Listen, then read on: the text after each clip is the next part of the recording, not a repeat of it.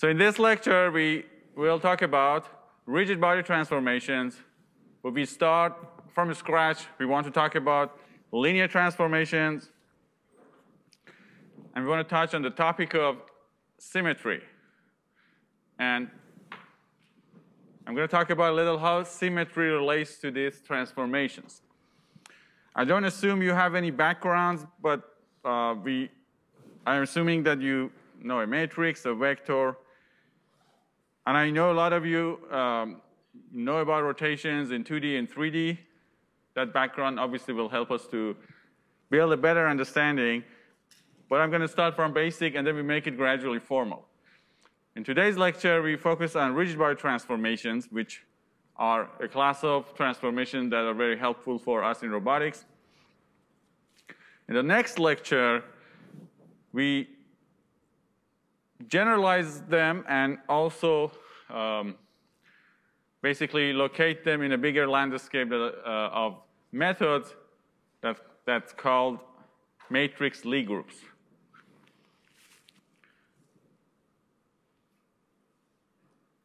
So first, what is a linear transformation?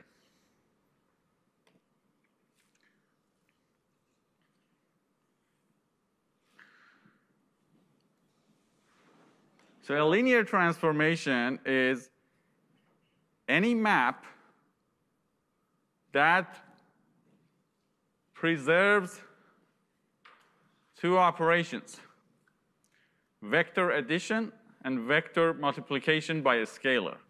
And these two are properties of vector spaces. If you have a map that acts on a vector space, that means it takes a vector, it gives you another vector if you apply that map to the linear combination of any two vectors from that space, the linear combination means multiply them by a scalar and add them up, right? It will preserve that structure. Those maps are called linear. For example, if you have a map such as T, acts on a vector such as A,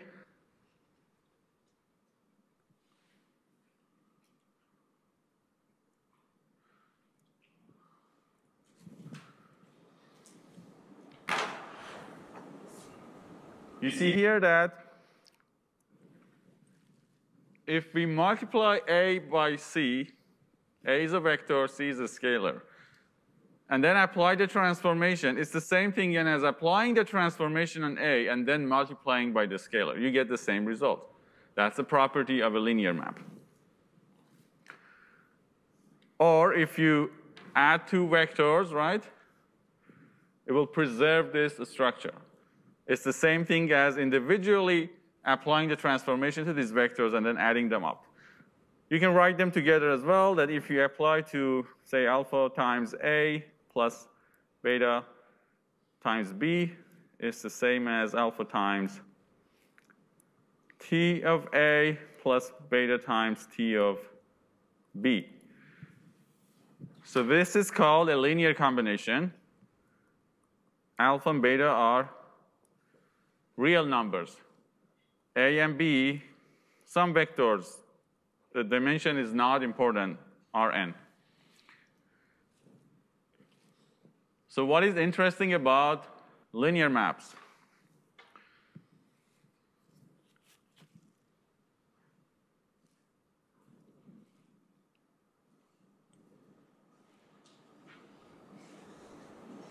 Do you find anything interesting here?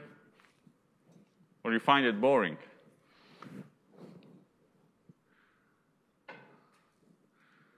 It might be boring, but you will, you will be pleased if any problem possesses this structure. It will make your life very easy. So this tra transformation, transformations that are linear, they fix the origin. It will not move the zero vector to another, vect another vector or another point. So if you pass zero, you will get 0. A map that the function or map that takes, so when I say map, I mean a function, right? So a function that takes something and gives you the same um, argument. is, fi it's fixing that value. It's called the fixed point of that function, right? So the transformation that is linear, it fixes the origin. This is very important. That means that when you apply this transformation to vectors, it won't shift the space. This is a property of linear maps because if, let's say, alpha and beta are zero, right? Zero is part of the vector space, and it will give you zero again. So this is true for all linear transformations. Now you can verify this quickly in Julia numerically. If you define a matrix, two vectors A and B, a scalar, you can add them up, then apply the transformation T, right, which is a two by two matrix. T here is a two by two matrix. Now linear maps, they don't have to be in form of a matrix, but you can have a matrix representation for a linear map. Okay?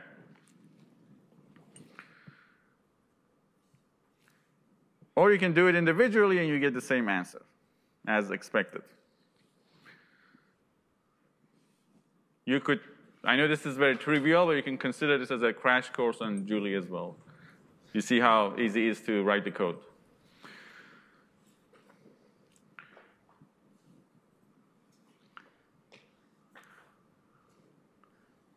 Now, unfortunately, I need to clear my writing when I move because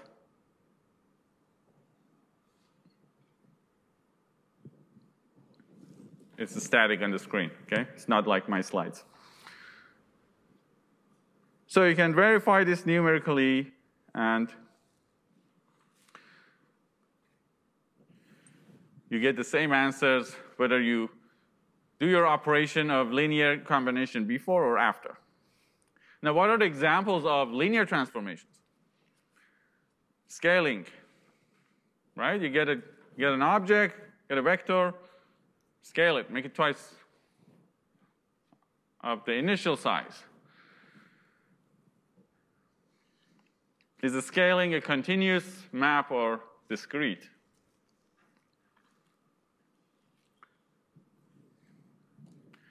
You can gradually scale something, right? With any factor that you want. It is continuous. You can assume a linear number that is uh, controlling the scale of an object right? So it is a continuous map in that sense. Reflection, however, is discrete because you have an object, you assume a line, right? And you calculate the reflection with respect to this line. It will move the object to the other side of the axis of reflection, right? It is not a continuous movement. But nevertheless is, is a linear map. There are other examples as well. Rotation is one of the most important ones that we want to study. Rotations are linear maps.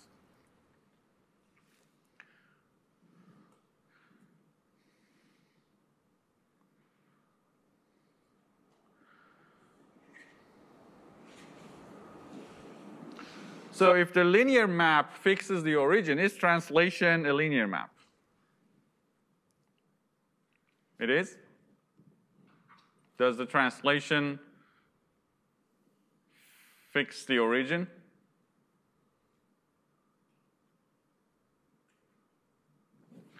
So translation map means that it takes a vector x or a, right? It uh, takes a vector x and then gives you x plus a. Okay? So if you have zero, it'll map it to zero plus a. So it will actually shift the origin right? These are called linear varieties or affine transformations. They're parallel, right? They're very similar, but it is a parallel version of what you had before. So these are called affine maps that we will see. So the translation is not, we can intuitively relate to this idea that the translation is not a linear map. By the strict definition of the linear map that need, it needs to preserve the linear combination, right? Now you can also check the math that if t is a translation, meaning it takes a vector and adds another vector, t. Well, we can check if t is applied to a plus b, you'll get a plus b plus t. But if you apply t to a and b separately and then get the results, you're actually adding a plus t plus b plus t. You get two times t here. So it fails to satisfy one of them. That's enough to disqualify the transformation to be a linear map. You can check the other one as well. In fact, it fails to satisfy both of them. So the translation is not a linear map because it does not satisfy these two properties. Now, is the identity matrix a linear map? This is the identity matrix. Let's say 3 by 3.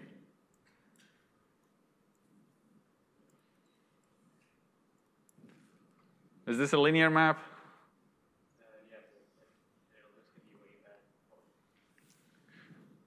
Yes, because if you can apply it, it satisfies all the properties we talked about. It fixes the origin as well.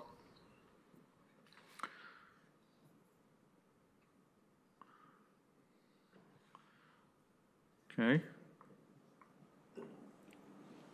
I have a question. Are there matrices that are not linear maps?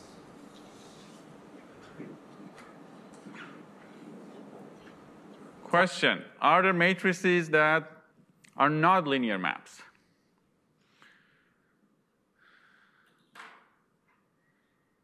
So a matrix is a linear map, right? Now it depends how much constraint you want to put there. It might not be an invertible matrix, right? But it is linear because a matrix is a mapping from one vector space to another. In general, if it's a rectangular matrix, right?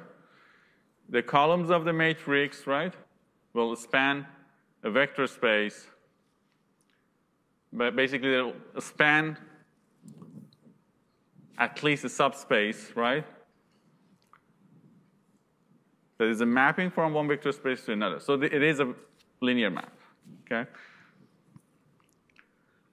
However, you, you don't need matrices to talk about linear maps. Matrices are very convenient, is a very are very convenient objects to talk about linear maps, and what, that's what we will do. So let's check the scaling. How can we, without any you know, formal discussion, how can we come up with a scaling transformation as a matrix. Here's an idea. Take a matrix S, S, 0, 0, right? S is some real number. Multiply this by any vector x, y. This will give you S times X, S times Y, S, X, Y.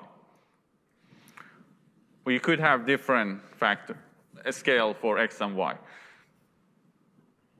So a scaling matrix looks like this. It is a diagonal matrix with some scaling factor. If you have off-diagonal terms, it will cause shear, right? You can stretch objects. Okay, so you, can visualize this. Again, just a warm-up. You can code in Julia and test some examples. You define your matrix, you define your vector, you apply the transformation in the scales your vector to be twice as big as the, the red is twice as big as the um, blue one.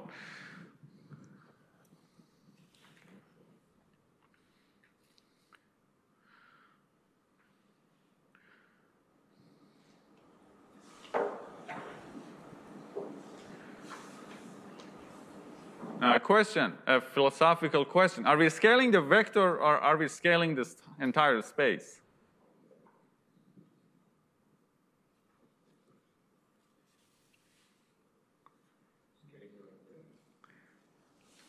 In this case, I'm scaling the vector, right?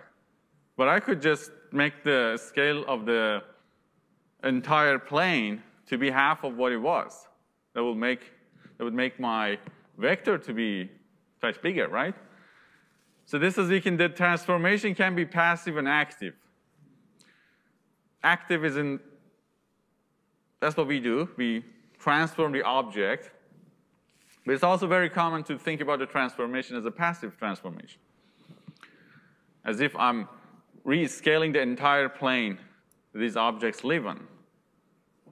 What would be an example where you would want to scale the whole space as opposed to just the components? Well, depends if you want. Well, the question is, what would be the, an, ex an example of, let's say, using passive instead of active? It depends you want to work with the inverse of that transformation or the transformation itself. It's very common in aerospace to work with the inverse of a rotation matrix, which we will see later as we move forward. That's basically modeling um, the problem in the frame that is attached to the airplane, aircraft.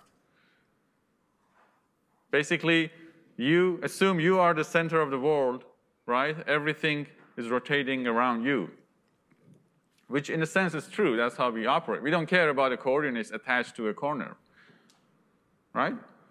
The way I see the world, I am the center and everything is relative to me.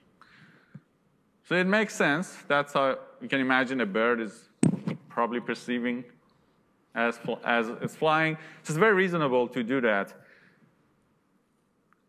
I use the direct, you know, the, the active version, and it's very common in robotics to use the rotation itself relative to a fixed or inertial coordinate frame.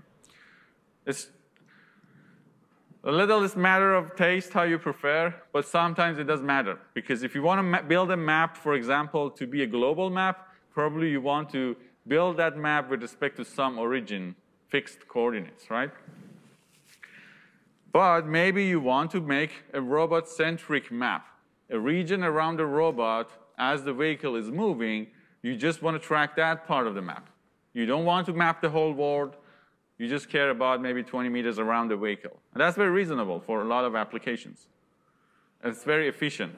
Does, does it ever happen that uh, you would want to do, let's say, like if you have a moving robot with an end effector, that you want the end effector to be viewed using uh, active transformations, but then, but for the robot itself, terms of its position with respect to the world, to use passive uh, transformations? Your question, I'm trying to understand. You're asking if I have a robot manip manipulator and then I have a frame attached to the end effector, and there's a base frame. Right. Well, because like a plane, right? The plane doesn't have. Well, I guess it does have moving parts, but the, as in, you're not so interested about like where certain parts of the plane are with respect to other parts, because those don't really change in mm -hmm. space. Whereas in a, in a robot, um, right, parts of the, right, if I have a robot, like the robot can stay in place, but like grab a door mm-hmm. handle, let's say partner. So maybe you could do something that like for, you know, like when the robot actually moves, you care about where the robot is with respect to its environment, where the robot as a whole is with respect to its environment, so you can use the passive Now that was a good example. If you have a robot arm, the robot is moving, you want to open the door, do you care to have the relative uh, pose of the handle or the doorknob with respect to the arm wrist or with respect to some fixed inertial frame for the manipulator? Probably in the arm wrist, right? But everything is possible. These are just a change of coordinates and transformation as we will see. It's a body frame, inertial frame, and you can go back and forth. So it's a choice that we can make. And in an ideal case, we can go back and forth. There's no problem. This is an additional example. I'm from the aerospace department, so I was taught to do everything in passive. And when I took on 550 for the arm lab, I did everything in passive, and it works just fine. You can also do it all active, and it's the same. I see. Yeah. Yeah, thank you. Aerospace um, folks don't like me. I, I'm changing the convention, so.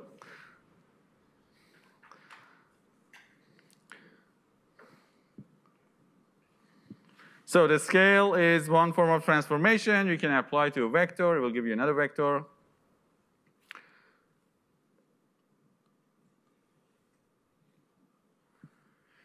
Rotation. I can do the same operation using a matrix. I'm defining a 2D rotation matrix here using the familiar equation that I trust you've seen it before. Cosine of theta minus sine of theta. And the second row. So I take a vector, the blue vector, the rotation acts on this vector v, or I'm applying the rotation matrix to this vector v. I get another vector u, and it is rotated. And I'm rotating it by 45 degrees. Okay? 45 degrees counterclockwise. Right? So the rotation is around the z-axis pointing up. If you rotate it with a negative of this angle, obviously it goes down, right? It rotates, it rotates clockwise. We go through it, but you already know that the inverse of this rotation is the negative of that angle, right? It's the rotation that will cancel it if you apply it again. So this is also a linear map. Um, I know you see sine and cosine, but it doesn't matter. When you evaluate it for a particular angle, you just have a matrix of uh, numeric values. So it is a matrix, it's a linear map, right? So it is not a good idea to write this sine and cosine, multiply it by you know, symbolic vector, and then call it a nonlinear function. That's not a correct way to look at it. When you think about it as a linear map, as a matrix, now it is a linear map, a matrix is an appropriate tool to look at it. When we put it in a matrix, it is a linear map.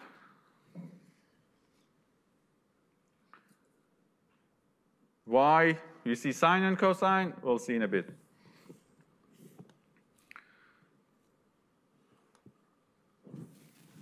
So if you multiply the rotation by vector, the first row obviously gets multiplied by the vector as a column. Or the, another way you can think about matrix vector multiplication is that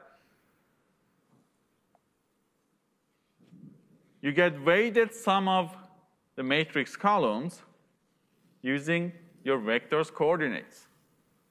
Okay? This is the second way of multiplying matrices, in particular matrix and vector.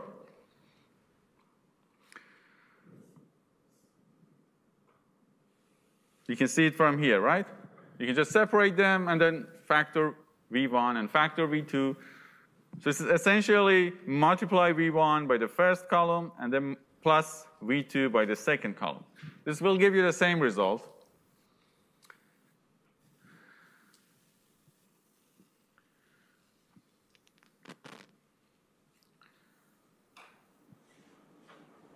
What is interesting about it is that as if the, these are some new basis vector, right? intuitively, you can think about these two new vectors that are now using sine and cosine as two new basis vectors. Can we derive the rotation matrix using this idea? And that's, that's what we're going to do.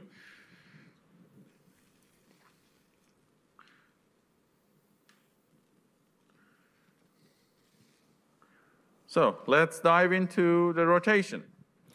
So the rotation is a circular movement of an object. You can see there's a sphere here, there's an axis.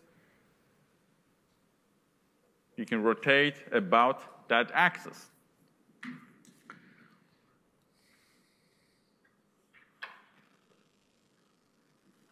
How many number of rotations do we have, let's say, for this sphere, a 3D object?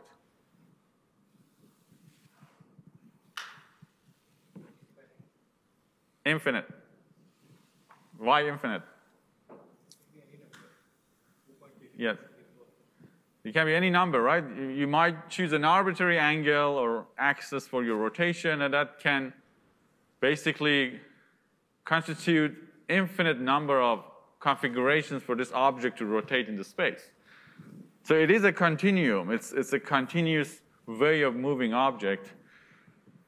Um, but it is also a particular way of moving the object. It's, all, it's only rotating it. All right, let's derive the 2D rotation matrix. I don't know if this is how you learned it, but this is a good way to derive the 2D rotation matrix. Suppose we have the 2D plane. We work with our standard basis, E1 and E2 for R2. These are the standard basis of R2.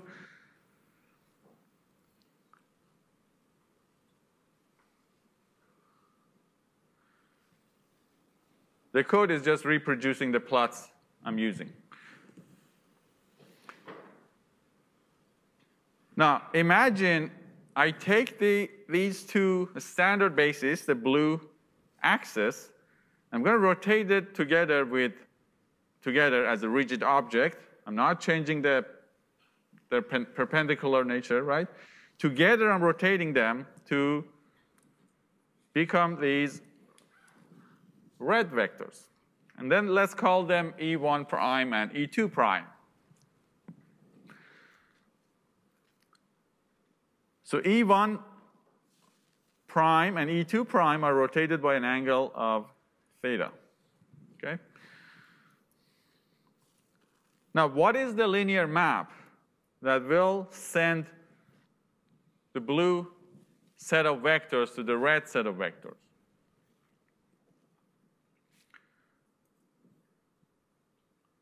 That sounds like to be our rotation matrix. So we want to find what does it look like.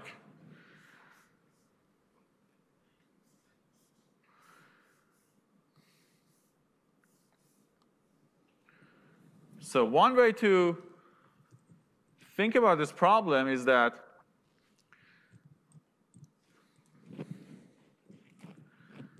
write down the coordinates of the transformed red axis in terms of the original, the fixed axis. And by that I mean, what is the coordinates of this vector with, its, with respect to the initial horizontal and vertical axis, right? Now these are unit vectors, so there is no length. So all we need to do is think about their projection, right? It's, which is a cosine and sine of theta for E1 prime. For the second one, it ends up being, because this angle is theta, right? So the first one is negative of sine of theta. The second one is cosine of theta. So we got E1 prime and E2 prime in terms of that initial coordinates frame. These are also called direction cosine vectors. Okay? Because all you do, you take the projection using trig, and then you find out the coordinates of the transformed um, orthogonal orthonormal frame. Now, the trick is now, you, we need to ask the question that if I have a vector v and v is written in terms of the red coordinates, E1 prime and E2 prime, what is the equivalent of that vector, let's call it v prime, in terms of the blue coordinates?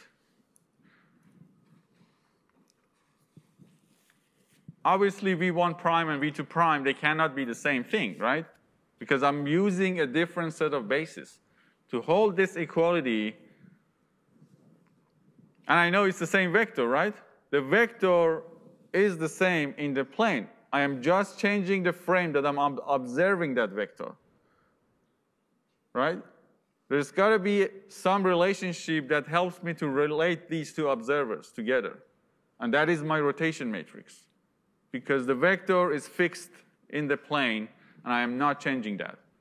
I just want to observe it from different frames. You imagine two people, right, looking at an object. You say it's one meter away. Your friend says it's two meters away. And maybe there's a relationship between you and your friend, right? So that's the observer frame or frame of reference. Now, you, when you use this property that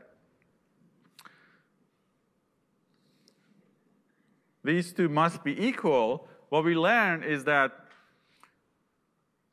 we just substitute E1 prime and E2 prime, right, and expand it. We learn that this relationship basically is captured by what you see here. So V1 prime is V1 times cosine of theta minus V2 times sine of theta. Similarly, you have an expression for V2 prime.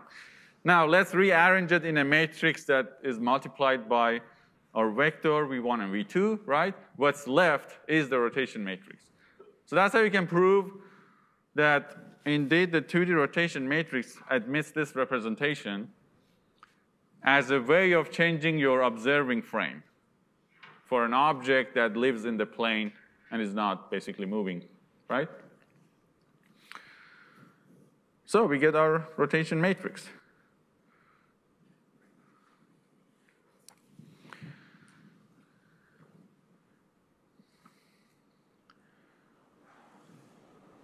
Now, this way of, you might know this from linear systems course, that this way of mixing um, basically a system's response across different bases, right, and adding them up is a property of linear systems. If they're not linear, you can't do that because the outcome won't be as simple as the same linear combination. This is called superposition, and it's a property of linear maps.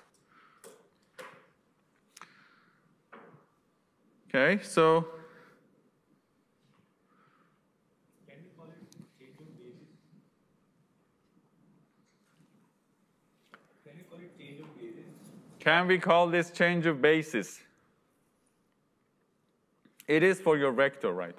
But change of basis for a matrix is different. Because you might express your matrix transformation in one reference frame, and then you want to change it in a, another reference frame, right? For example, you have a camera, you observe an object, and maybe you have a LiDAR on the robot and you want to see the object in the frame, in the reference frame of the LiDAR. So you need to know the relative transformation between your camera and LiDAR, and then do a change of coordinates to um, basically get that object. Now, if that object, I mean in a mathematical sense, is a matrix, the change of reference, it looks like a conjugation. It's not just a matrix vector multiplication, right? But for your vector, it will do it. We'll see in group lecture that um, the adjoint map will do the change of basis for you. By the way, that motivates the calibration, right? You, because you might want to relate different observations and, or combine them for a state estimation in one common frame, you do need calibration between different sensors on the robot. In an ideal setup, we, we might assume they're co-located, right? But it must certainly not because they're physical objects, right? Maybe the IMU is here, maybe the camera is here. That might cause some error in your estimation if you do not count for that, okay?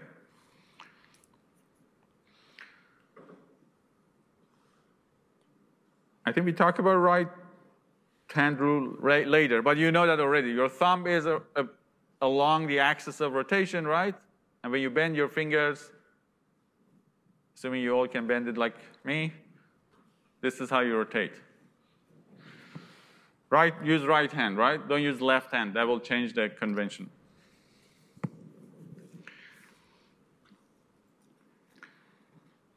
That's the positive direction. Let's talk about circle group. What is common between that 2D rotation matrix and the circle?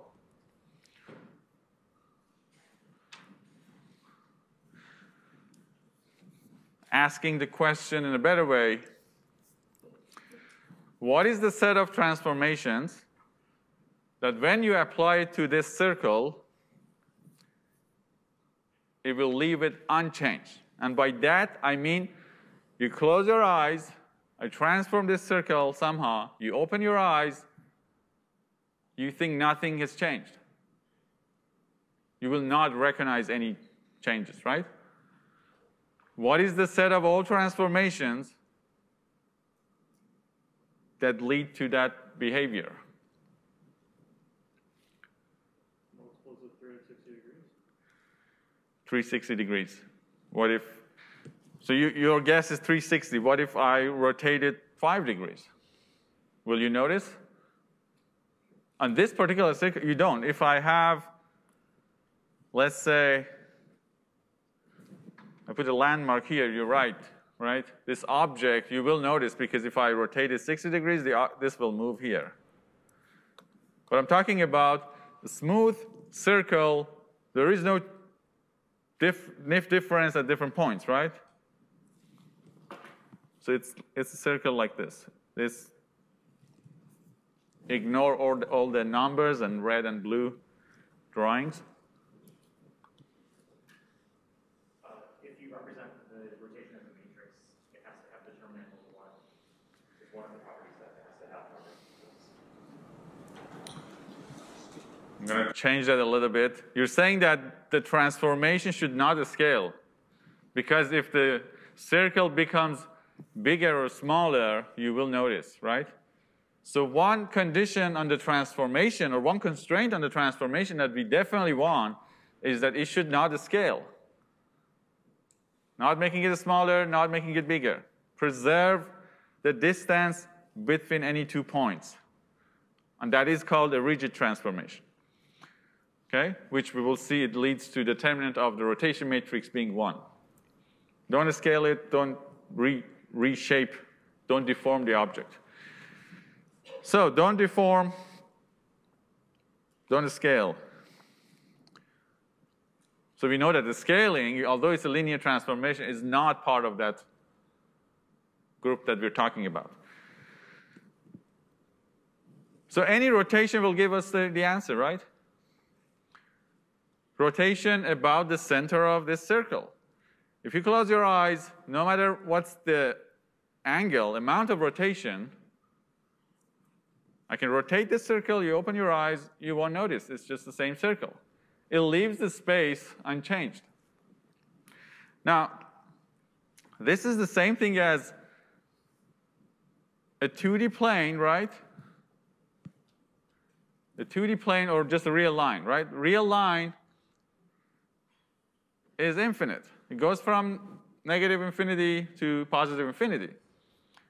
If you close your eyes and I shift this line one unit with whatever um, basically metric forward or backward, you won't notice because it's infinite, right? It's like a wallpaper pattern. In a sense, that's also a symmetry of that space because it leaves the space unchanged. So we say that 2D rotations are forming this, they form the symmetry group of the circle. Right? These are continuous symmetry of the circle because when you rotate the circle, you get the same shape. They are identical. This is the concept of symmetry in math and it's heavily used in physics. Now, Lie groups are the best mathematical way we have to describe continuous symmetries. That's why we're interested in studying them. That's why in physics they use them, okay? So at, at this point, it's the best tool we have in mathematics to study continuous symmetries of different spaces. What about sphere? This is 2D, let's make it 3D. What about a sphere? If it's a smooth, you know, no color, no pattern, just uniform sphere in 3D, you can rotate it in 3D in any way around the center of that sphere, right? So the 3D rotation group will form the symmetry group of that sphere. Again, because the test is close your eyes, you apply any of the transformation from that symmetry group, you open your eyes, you will not know. Nothing has changed. So that's why these matrix groups or Lie groups are very important because they capture very fundamental structure about the geometry that we use them for manipulating uh, coordinate frames and moving objects. And in robotics, it just pops up naturally because you have joints, arms, articulation, different sensors. You're modeling the geometry to build map or estimating the trajectories. So it's a very natural tool to use. And as we go forward, hopefully you get a feeling how it's connected to maybe other methods that you've seen. Now, for circles, one interesting observation is that if you know a little about complex numbers, a unit circle is basically a group of all unit complex numbers, right? The complex number is x plus i, y. If all of them have magnitude of 1, that forms a circle. Why? Because this, this is the equation for the circle, right? Now, you know the Euler identity. I shared a proof this morning with you in case you want to know where it comes from. It's very easy to prove. But the exponential of i times theta equals cosine of theta plus i sine of theta. In a complex plane, you can imagine this is actually modeling all the points on this circle, right? In the complex plane for you. Now, what is interesting is that this is equivalent of our 2D rotation matrix. This is no different. You just, if you choose to work with complex numbers, you need complex numbers, right? It acts as rotating your vectors when you multiply it. But we, we used to using 2D rotation matrices. Very important observation here is that adding angles that we see here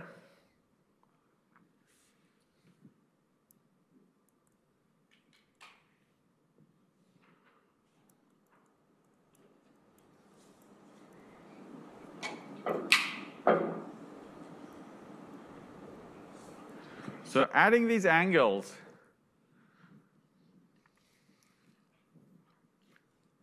corresponds to multiplying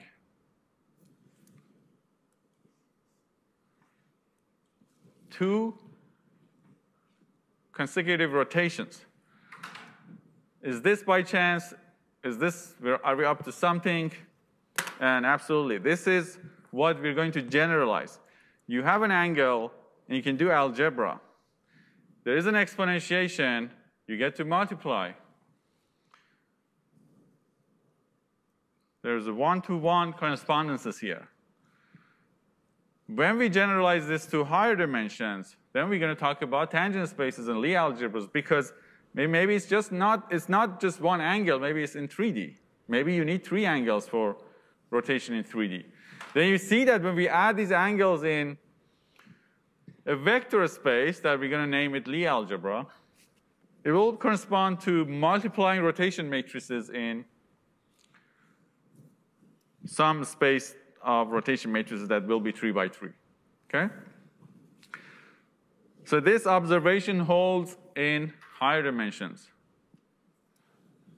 Now, in this case, the order is not important. We will see the order becomes important when we go to higher dimensions.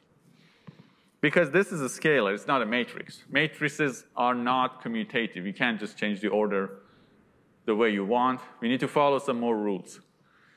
But this, this is very important because it doesn't matter how you choose to work with a rotation, whether you want to use unit circle or 2D rotations, these are equivalent. And the fact that we can do algebra instead of multiplying here scalars, but later matrices, it's very important, again, because when we can do algebra, usually we can solve the problems much more efficiently. We are good at doing algebra, whereas working with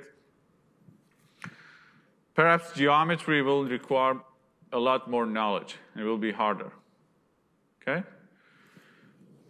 So on the surface, some of the tools we use, it might look difficult, but actually, it is a simple way of running the calculations because we use linear algebra. We reduce the geometry to algebra. So that's the takeaway from here. And uh, remember the exponential map. This is for a scalar. Later, we will have matrix exponential, analogous to what you see here for exponentiation. Now, 3D rotations. You probably know this. You can name it roll, pitch, yaw, right? How can we derive this? Roll is usually forward-looking axis, right? Pitch is um, basically bending forward and backward, and yaw is usually along, along the about the vertical axis. Or in aerospace, it's very common to work with downward basically z-axis. It's also very common in computer vision. For camera, we usually assume z-axis is pointing, no, we actually assume z-axis is pointing towards the lens of the camera. So you might see different convention and different setup, but that's not a concern. We can always map any setup to um, the setup that we want to work with.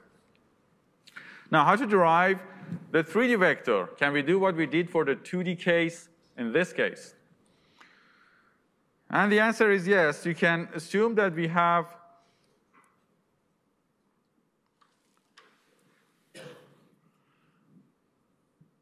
our standard basis for R3 and you have an orthonormal frame.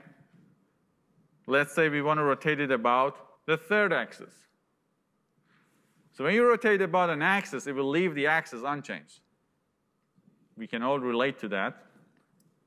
So the third axis won't change because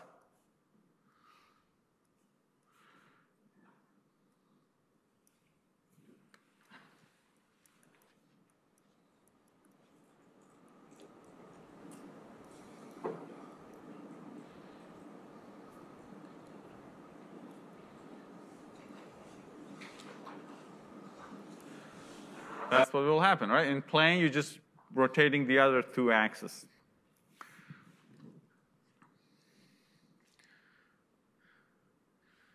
And we write down as before the condition that if I have a vector and it must, uh, in, in the new, basically, according to the new set of bases, if it takes this form, what is its equivalent using the old basis? Then you can solve for it. Then you can arrange it in a matrix, and that will give you the matri rotation matrix about the z-axis. Again, the columns are called direction cosine uh, vectors as well. That's one way. A lot of books start from there and tell you arrange the direction cosine uh, vectors, and that will give you a matrix. That's called a rotation matrix. But this, is, this starts a little before that. It gives you a little, a little more information where it comes from. Now, your exercise is to prove for y and x using the same process.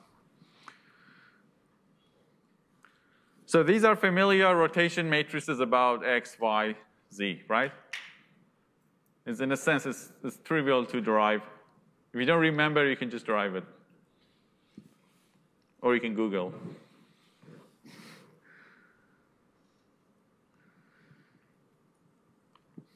So affine transformations. What is linear? What is affine?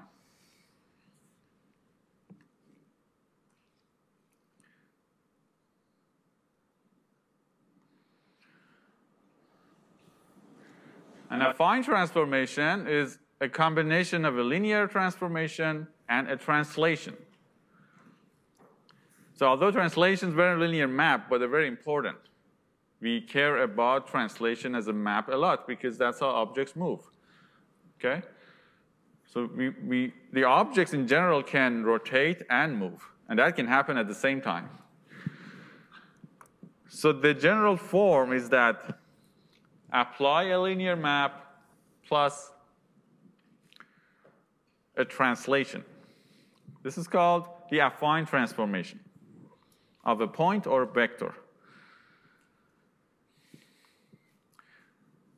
Now, you can have many types of affine transformations because you can have many types of linear transformations. But of particular importance for us is a class of rotation and translation, uh, basically using any real vector. These are rigid body transformations. Rigid because they preserve the distance between any two points on, on the object, which is what you expect, right? If you want to come up with a mo model that describes this motion, you already know that there's nothing different about this object at this point in the space or this point. So this model will respect that structure. Um, this example, is t a constant, or is it like t time? No, t is, is a three vector. T is like x1, x2, x3. Or t1, now your question is if it is, it is constant, well, it can be. If it's the transformation that is given, it's constant. In general, it can be any number, right?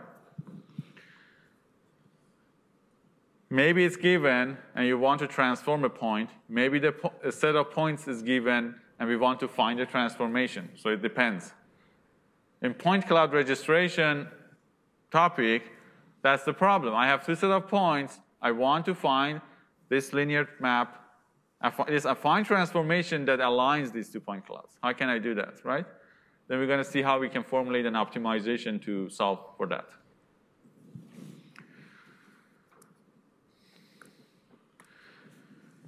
So if I have a pyramid or any other objects, this is an example,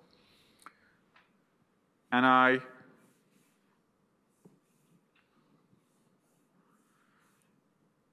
rotate it about the x-axis, and then translate it using now this constant translation vector, what I will get is that it is rotated and then translated.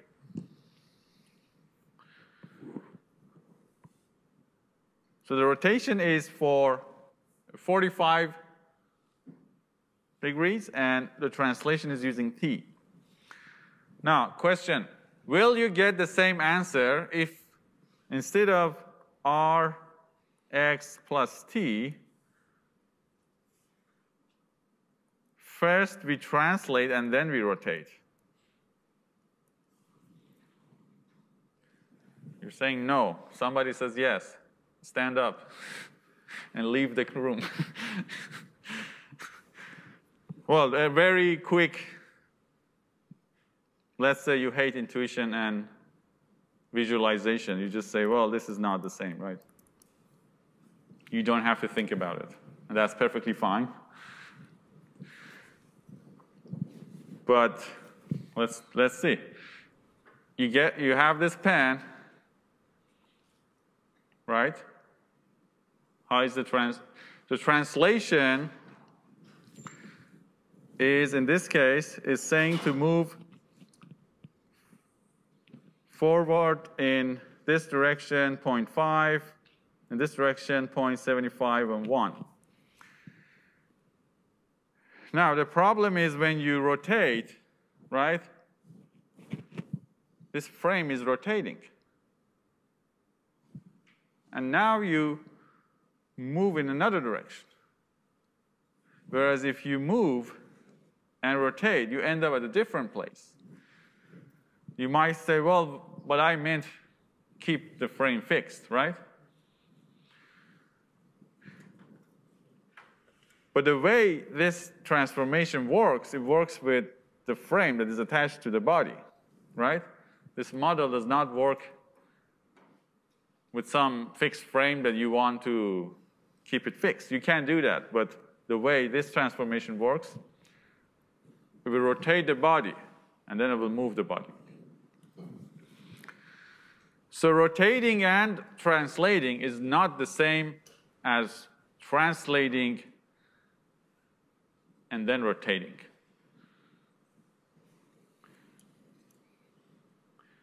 And it took 20 years to fix this in robotics.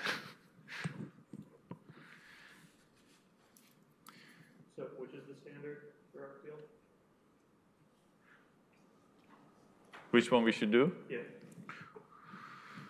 When we will define the SE3 uh, group, you don't need to track this. It will rotate and translate.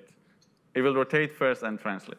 So because the affine transformation is defined this way, a, a rotation and then a translation. So in the context of invariant Kalman filtering, we will see that the way you define the error, it will change everything in the derivation of the filter. If you don't, if you, if you don't respect this structure, you lose a very nice property that can render some problems linear in some coordinates. Whereas if you respect the fact that rotation and translation um, basically are, um, the order matters in rotation and translation, then for a certain class of problem, you can still have a filter that behaves like a linear Kalman filter, right? That's basically what we will, we will talk about in Kalman, invariant Kalman filtering. We need to build some more knowledge on the matrix group, and then you will see why. The definition of the error will lead to that property. So this is very important.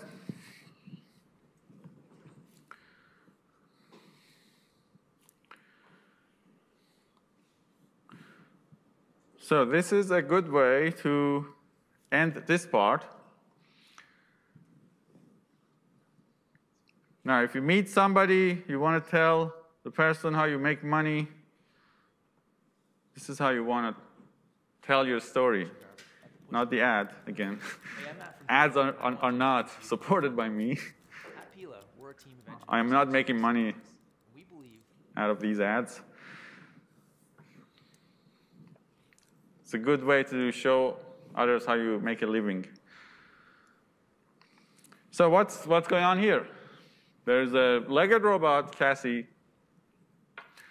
There are a bunch of sensors. You see what the robot is seeing. The image that you see, it's a video recorded on the robot. It's shaking a lot because the robot is walking. And there's a LiDAR, what you see is the LiDAR point cloud, accumulated for about maybe 10 seconds.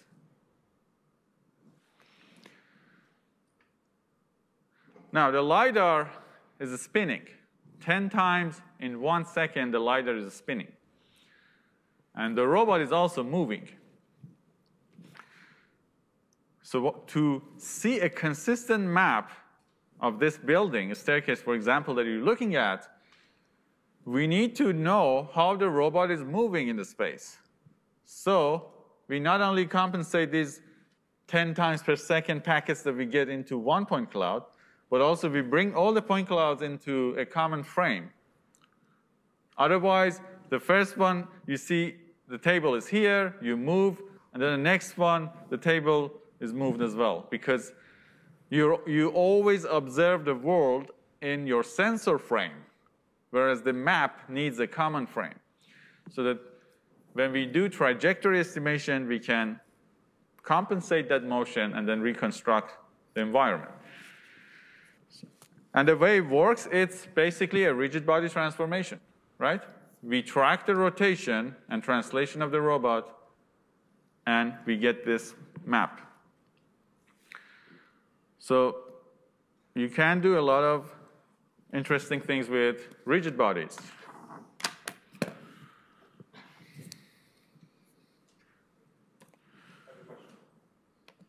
Yeah? What's the, what's the LiDAR color map showing? Let's see.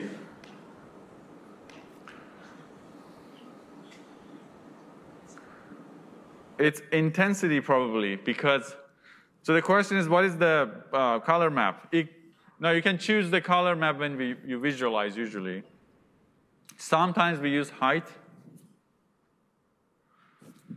But you can see now the ground is red, but the ground is also green, right? So it's not height. So I think it's the intensity. The LiDAR on top of a range that is with respect to other sensors like the stereo camera is very accurate. Maybe five centimeters or 10 centimeters noise you get. On top of the range, it will return a metric intensity between zero and one, usually, that is a measure of the reflectivity of the material. If the material is shiny, the intensity value will be higher. If it's dark, it's most likely will absorb the light, the infrared, basically uh, beam that the LiDAR is shooting. Then you get less intensity. And this is usually negatively correlated with, what the, with the intensity that you get from camera image. So the camera is a passive sensor. It, it's not shooting any beam to observe the scene. A LiDAR is active. It shoots a beam, use the time of flight, right, for the light to measure how long did it take for the beam to go and come back. And then you can, the speed of light is constant, and then you calculate the range. You're not sure the speed of light is constant? it's constant here on Earth. There's also something uh, further up in the video where someone was walking along the and Good point. it, it seemed like it was tracking that person as if it was like a continuous obstacle. Yeah, I think I think. Yeah. Good point. I wanted to talk about this part, but I forgot. So, part of the video, you see somebody walks right in front of the robot. Because we just observe a snapshot of the world, the scene, and then accumulate them, we get accumulated traces of dynamic objects in the map. If this is a highly dynamic scene, the map will be cluttered with these um, basically traces. But the problem is, if the map is static, you think that's an obstacle, whereas it's not because the object is moved. It will limit the capability of the robot to plan and operate in that environment significantly if the environment is highly dynamic. So that is a challenge, and it's a problem if your mapping algorithm is assuming the world is static. And that motivates the problem of dynamic mapping. Build a map that can handle dynamic situation, which is one of the good research topics that a lot of people work on it. But that because of this. Yeah?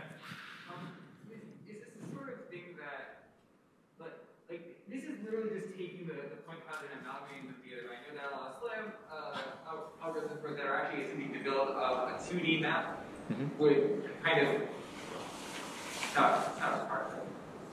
Not as part of the ones they use local thing. Um, I forget the, the, the log odds grid that they use, the uh, occupancy grid. Occupancy grid map, right. That they use um, when they, they update, usually are able to filter out dynamic obstacles. Is there a like a version of the occupancy grid that extends to like more 3D structure like this?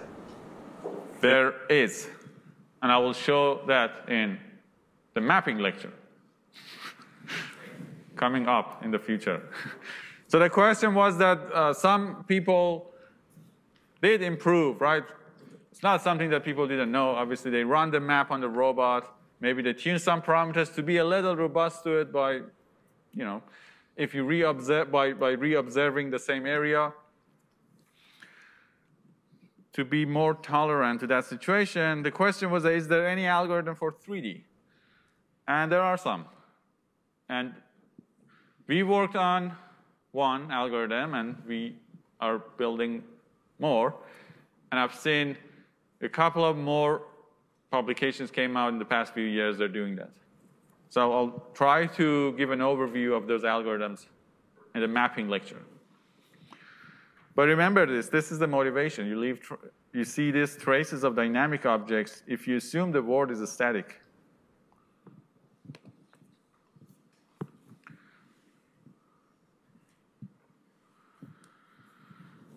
Okay, so let's switch to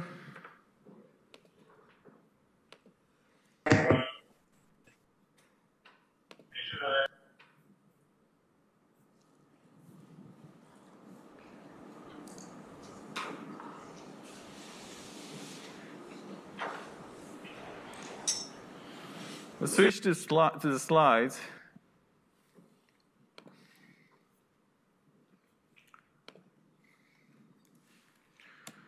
All right, so rigid body, uh, rigid body motion. Rigid motion of an object, we, we just talked about it. It preserves the distance between any two points on that object. The study of robot kinematics and dynamics and control typically is tightly integrated with this topic. It's so important that a lot of methods in kinematics, dynamics, and control are just purely based on geometry, understanding uh, the behavior of objects, the way they move.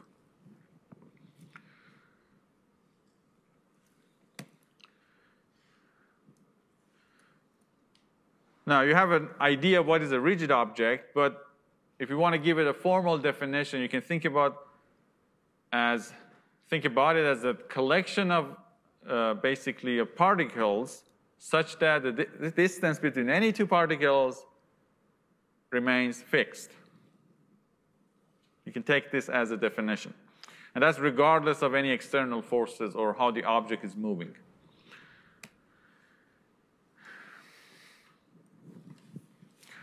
We also know that the rigid motion is a continuous movement because we can continuously rotate and translate.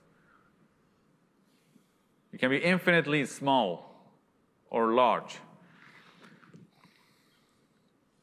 Although rotation will look back, right?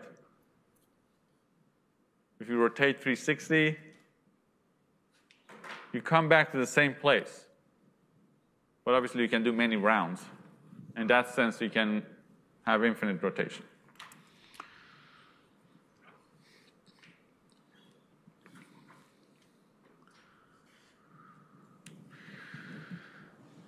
So we, we're going to think about two reference frames. One is called the inertial frame. The inertial frame is a frame that is fixed, or you can call it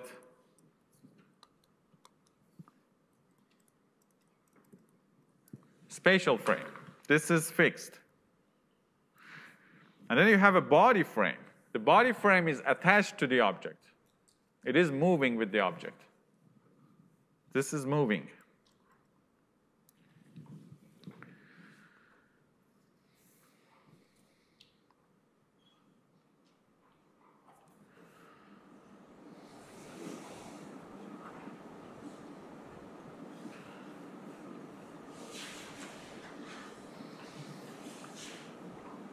Now, if a frame is called A and is fixed, if a frame is moving, it's called B. If we attach coordinate frames to these points, A and B.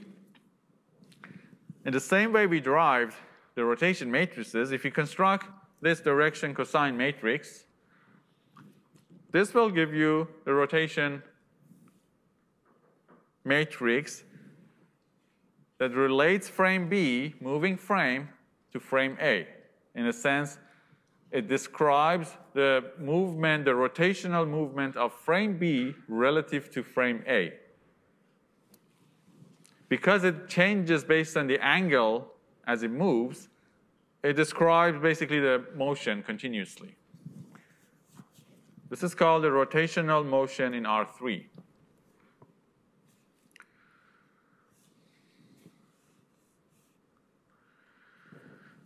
Now, as a summary again, the familiar rotation matrices are rotation about x, y, and z axis. Typically, you can combine them using some convention. These are called Euler angles. You have how many? 24? A lot of combinations of them. Because you can have z, y, x. You can have x, y, z. You can have z, y, z. x, y, x. I'm not a fan, and I don't use it, but this is very common to choose one of them and then work with them. Now, z, y, x is very standard to use. And the way it works is that you multiply r, z, r, y, and rx. And that'll give you a new rotation matrix that describes all three rotations at the same time. So you have rotation about z, we call it yaw. You have rotation about the y-axis, we call it pitch, and you have roll. So three independent rotation, and you can combine them to get a bigger matrix. And you can imagine how nasty it will become after multiplying these three matrices. Lots of sine and cosine.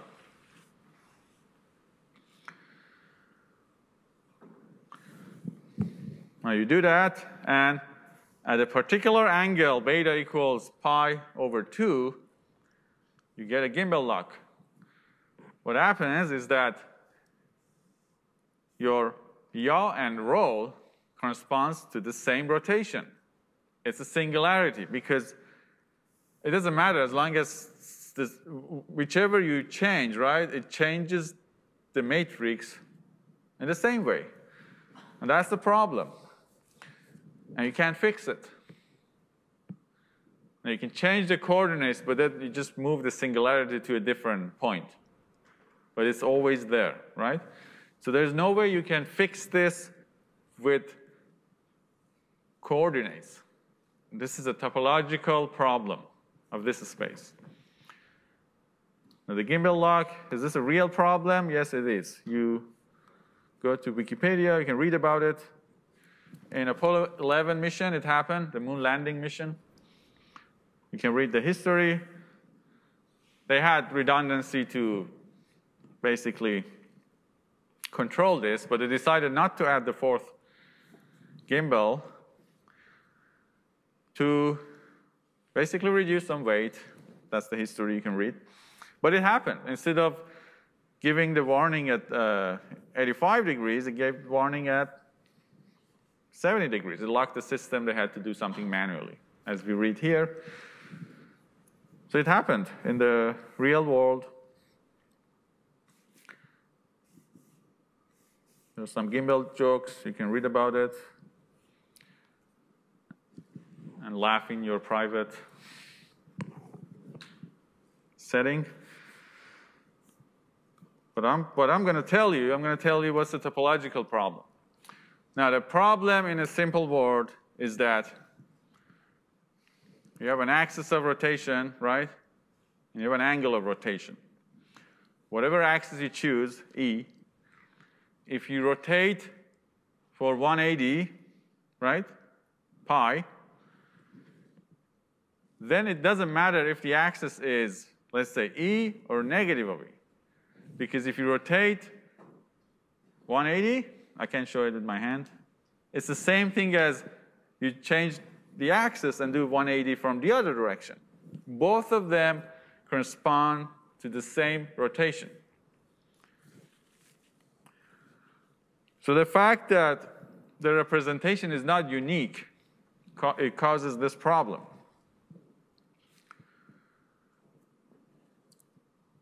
So there is a particular orientation that is not unique. When you choose the coordinates like Euler angles, it shows up in terms of that singularity. At particular angle, then you lose degree of freedom. You cannot control the system, right?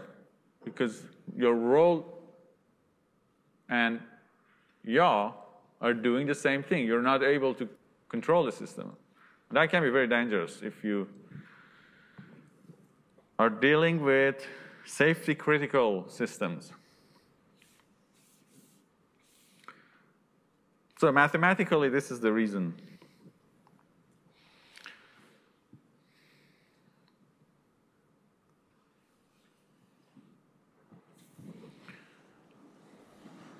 We're not going to fix it. It's just, that's how it is. The space of 3D rotations, this is how it is. Now, however, you can you can use unit quaternions for every rotation matrix. There is a plus minus unit quaternion.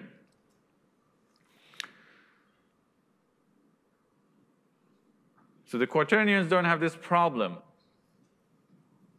but still you have plus minus. So you have two for each rotation. As we will see, in the context of Lie algebra, the Lie algebra of quaternions is the same as rotation matrices. So they are very similar in that sense. But if you work with quaternions, they don't have this um, singularity problem. That's why they are used in most of the state-of-the-art state estimator, especially in aerospace industry. So you get quaternion Kalman filter. Usually when you buy an IMU, it comes with an orientation estimator that runs a quaternion Kalman filter.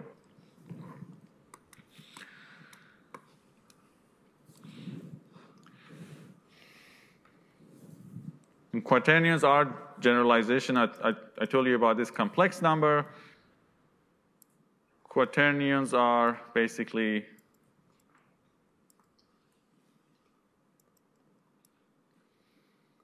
generalization of 2D complex numbers to a four-dimensional space.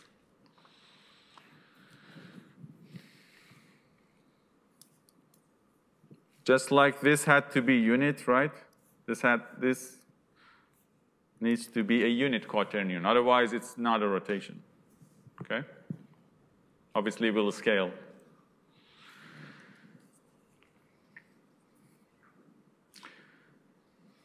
It is a little scary how this ijk corresponds to 3D rotation, but that's how it is. So we're going to work with 3D matrices. I think they are more approachable, but you're welcome to use quaternions too. So the property of rotation matrix is that because it's constructed using the uh, basically projection onto the fixed frame.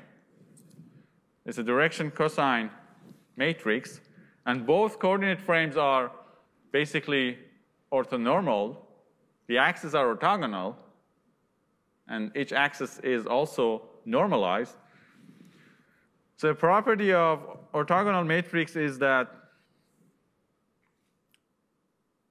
it is, its inverse is its transpose. So because of that, that's just from linear algebra, that the inverse of R will be its transpose, okay? Because it's an orthogonal matrix. And you can verify that whatever rotation you pick, make its transpose, multiply them, you'll get the identity matrix. Now, we also know that the inverse of a matrix commutes with the matrix itself, always. And it is unique. Now, take the determinant from both sides.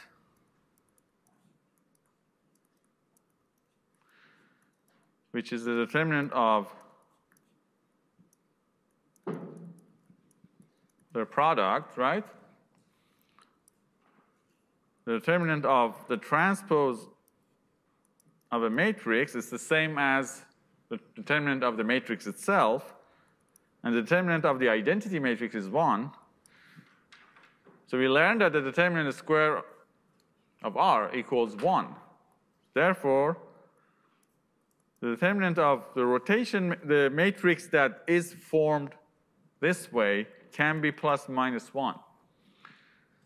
Now, out of these two choices, that next lecture we'll talk about it more, plus 1 is rotation, minus 1 is reflection. Okay? Because now, if this determinant is the volume that your matrix spans, right? It's the volume of the vector space. It's the volume of the subspace spanned by the columns of your matrix. That's the determinant. If it's not 1, you're scaling. Obviously, we don't want that. Now, if the determinant is negative 1, you're mirroring that volume. That corresponds to the reflection. More on this next time. So you can give, give them a name. Sounds like these are very important. They have some important constraints. Let's give them a name. The name we use is called SO3. We'll see why later, but they, call, they are called special orthogonal group of dimension 3 because these are 3 by 3 matrices, therefore R3. These are all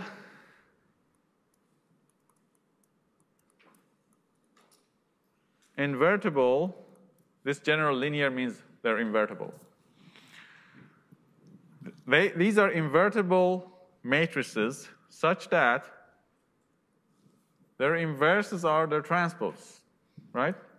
And the determinant is 1. So every configuration of a rigid body that is freely rotating can be identified using a unique rotation matrix. Okay?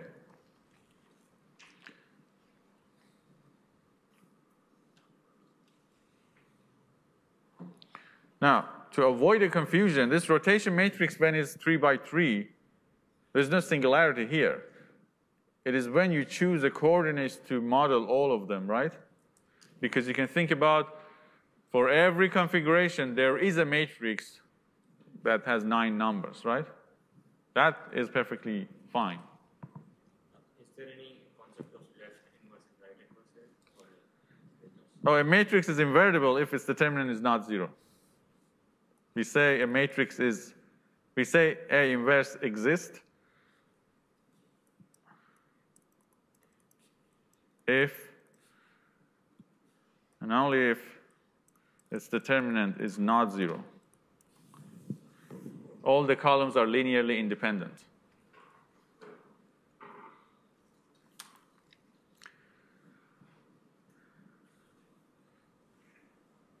Because the inverse formula has 1 over determinant, right?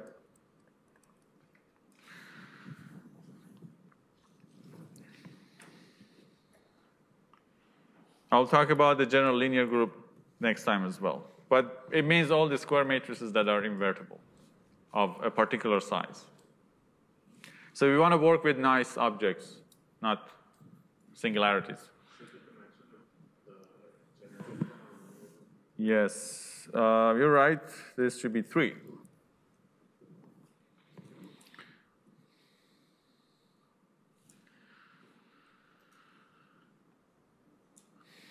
Now, how do you combine these matrices? Well, it turns out to get the rotation of frame C relative to B, we know how to construct that, right? Using the direction cosine matrix, or the method we learned how to derive it, you can have another matrix that is the orientation of frame B relative to A. To combine them, you can multiply them, right? So the common frame that is in the middle basically goes away. Then you get the rotation of frame C relative to frame A. Now you might ask, why don't you add them, right? Maybe there's something in your mind that wants you to add them. But the problem is when you add them, the result might not be a valid rotation matrix. That group, that we will formalize the idea of group next time, this group is not closed under addition. If you add two rotation matrices, then the result might not be part of this group. Therefore, it won't be a valid rotation matrix. But as long as you multiply them, you're always inside this group. It is closed under matrix multiplication. So that's the reason we don't add rotation matrices, because the result can be a wrong matrix.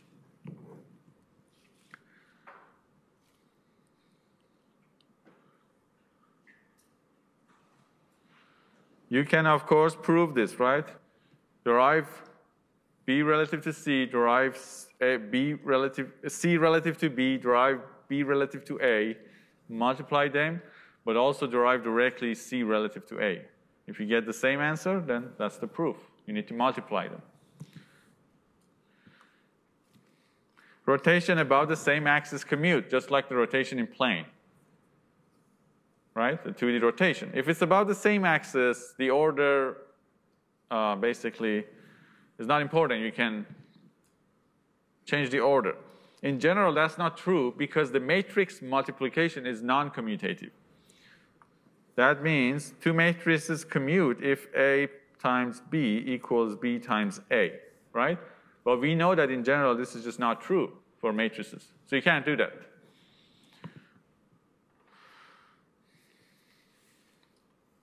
So don't change the order in general unless you are confident that this is about the same axis and it's a very particular situation that you're doing calculation. Also, don't add them.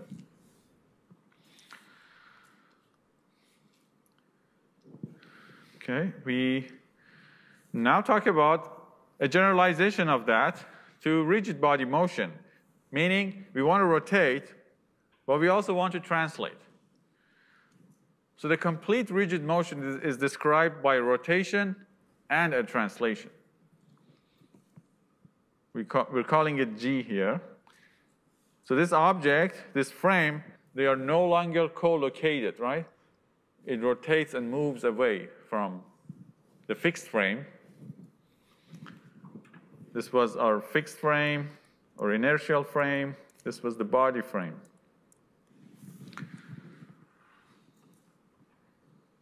Which is that, that that's how it is, right? maybe the robot starts from here, this is your 0, 0, 0 for the map, right, the origin. And then the, as the sensor is moving on the robot, that's the body frame is moving.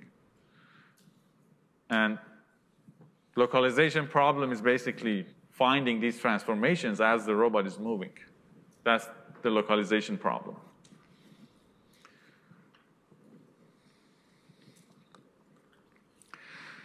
Now, just like rotation groups, we have another group. This, is, this, this group is called a special Euclidean group.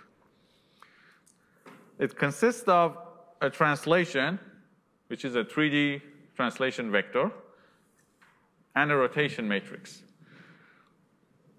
And when it acts on R3, you get rotation times your point plus a translation. So it first rotates the vector and then it adds the translation. Now, we're a little, a little lazy to remember this like this and track it, so we're going to invent something new. So let's create a new set of coordinates call it homogeneous representation. Instead of for every vector, this is not a quaternion, just I used Q before. This is just a point, right? For every point, instead of R3, let's make it four dimensional and add, add one to the end, right? So for every point in 3D space, add one. We'll make it a four vector.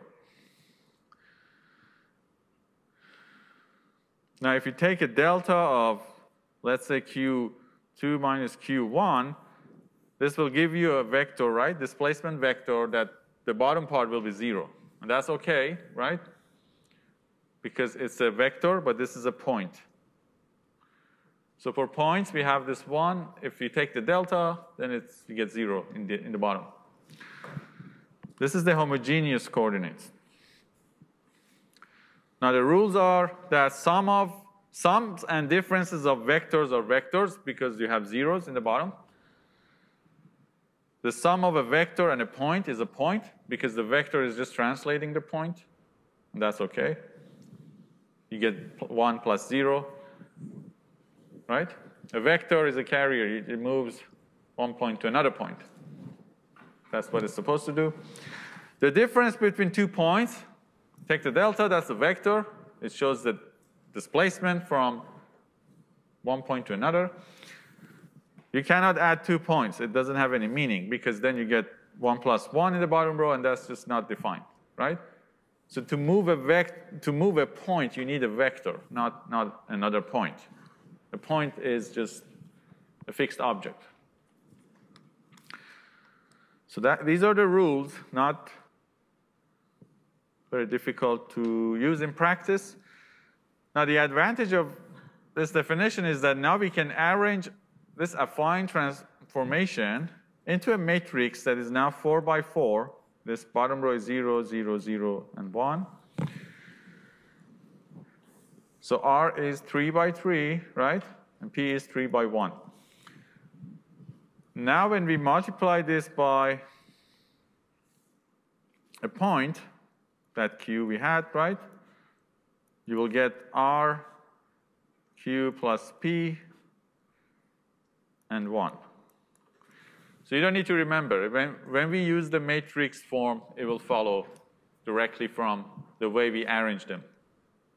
And that's one advantage of using these matrices. So that's why we make the homogeneous uh, coordinates. It's very convenient. When you multiply, what happens? You multiply two rigid body transformations. You get a sequence of rotations, right? We first rotate the second vector, right? Second point, to align it with the first frame, and then we add the translation of the first frame. Now, this is all happening automatically. It's all automated. You have these numerical matrices, you multiply them in a computer, it tracks it's everything for you. You do not need to track them manually. But the meaning behind it is that. So it, it handles the, this orientation and translation order automatically for you. And just a reminder that H2 times H1 is not the same as H1 times H2 you can multiply and you see that you will get different results. How do you, now the inverse of the rotation was the transpose. What about this one? Because I have good intuition, I make a guess and I'm, I'm going to tell you this is the inverse. How do you prove it? Well, multiply them. If you get the identity, that's the answer because the inverse is unique, right? If it exists, it is unique. Basically multiply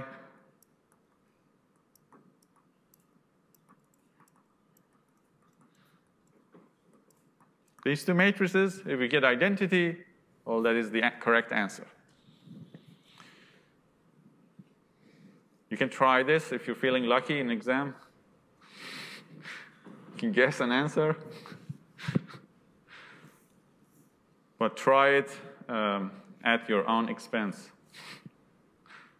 You will not get extra grade because you guessed.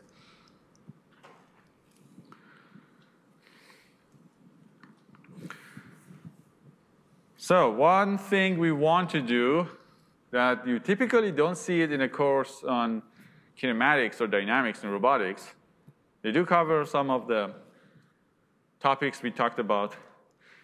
But in the context of mobile robotics, we want to also model probabilities and uncertainty using rigid body motion. And that's an important topic for us because later we want to do a state estimation over a rigid body, rotation and translation.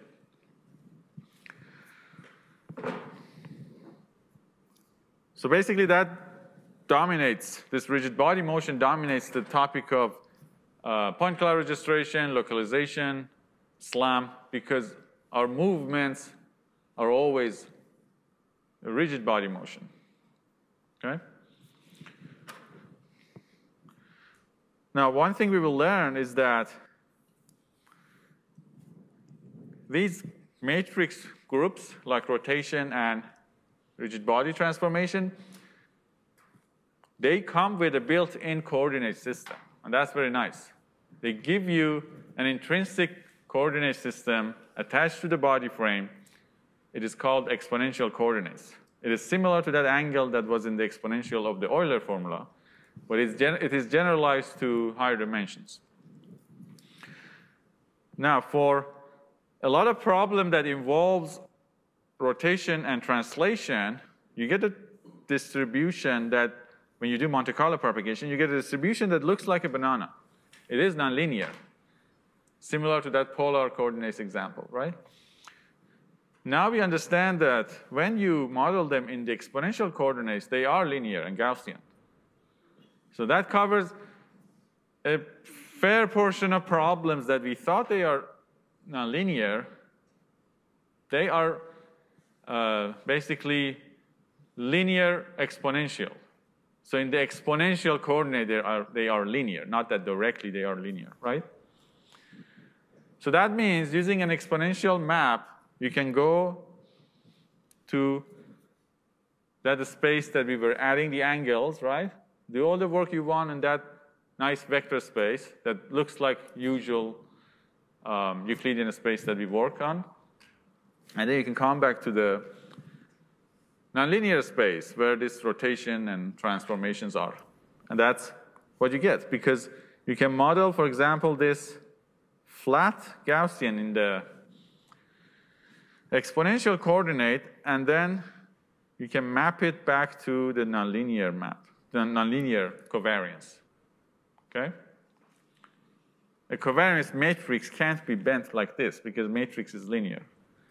It is through this exponentiation that we can go back and forth between this nonlinearity and a linear exponential model. And that's Lie algebra. So you have example codes here, but this is just to motivate. There's much more into these groups. So next time we talk about Lie groups, as I said, they are the best tools we have to study um, these objects and symmetries of continuous symmetries of spaces. And they come with the coordinates that we will use for solving a lot of problems in this course. You can take a look at the codes to generate these plots for curved covariance propagation. Some of the topics uh, that I covered, you can read them in chapter six. This is also a very nice book that uses Lie groups for kinematics and dynamics. So that's it for today.